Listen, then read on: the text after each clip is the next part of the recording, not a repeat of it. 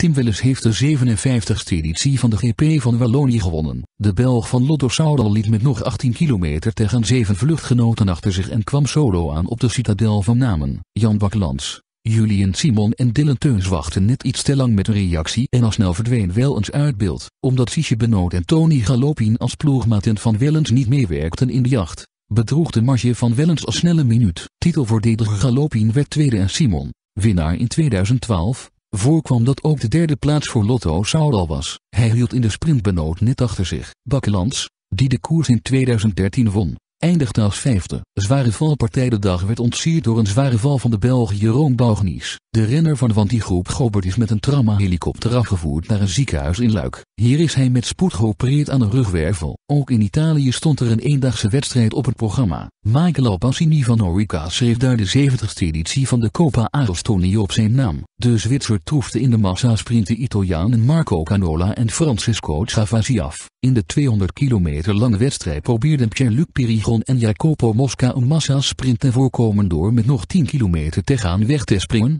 8 kilometer later, vlak voor de finish, zat hun avonturenrechter weer op. Italiaans drieluik de Coppa Arostoni, een eerbetoon aan de in 1941 overleden Italiaanse renner Hugo Arostoni, vormt met de Coppa Bernocchi en de Ronde van de Drie Valleien een drieluik van koersen in Lombardië. De Coppa Bernocchi staat voor donderdag op het menu, de Drie Valleien is 3 oktober.